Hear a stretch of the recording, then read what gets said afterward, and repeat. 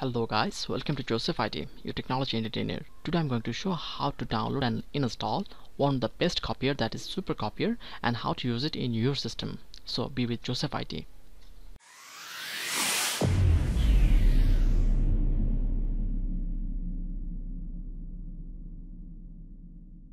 First of all, go to your browser and search Super Copier on Google. And from the very first link, download supercopier and you'll be able to find the link also on the description. So don't worry about it. I've downloaded the file and simply I'm going to install it. Next install. It's a light software just 6.42 MB in size but works much faster than any other software.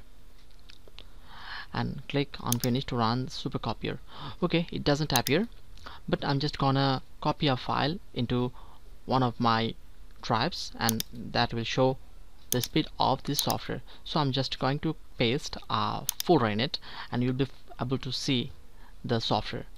This software working. Supercopy is one of the best copier in the world and you can use it simply with your Windows whatever window you are using. It may be 7 8 or 10 so this is the best copiers and hope you enjoyed it. And lastly, if you found this video useful, then please don't forget to like, comment and subscribe to this channel of Joseph IT. See you in my next video tutorial. Until then, goodbye.